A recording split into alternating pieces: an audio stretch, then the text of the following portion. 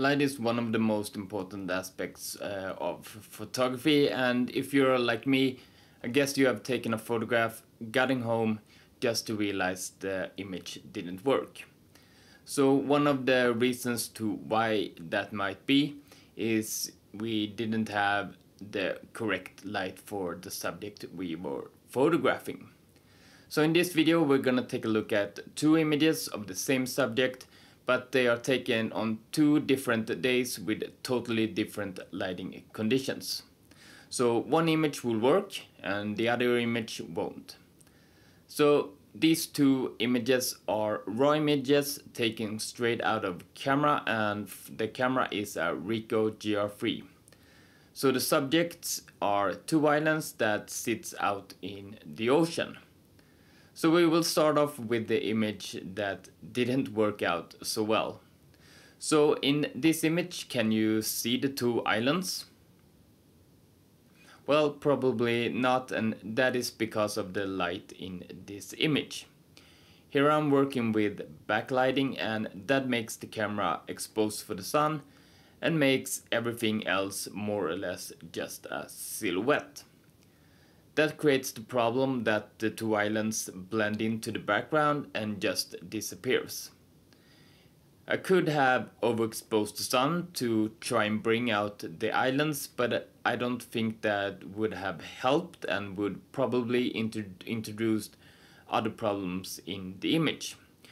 One might also say that I could have used exposure bracketing, but that is a lot of work in post and I'm not sure that would have worked great either in this case. I think it's always best to try and get the right conditions for the subject you're photographing from the start to try and make the subject stand out in your photograph. So in this example of backlighting, that didn't really work out so great.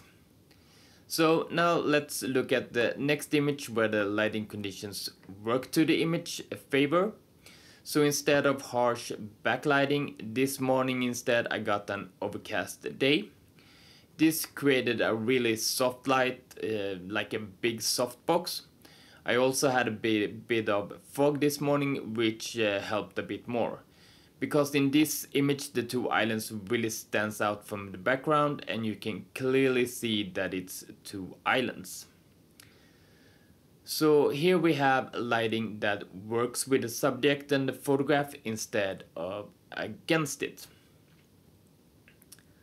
So my point is, uh, when you're out uh, photographing, always consider the light you are photographing under.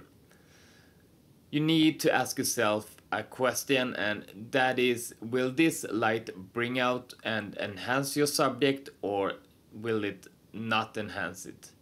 Because as you can see in these two images it can be night and day difference if the image will work or if it will not work.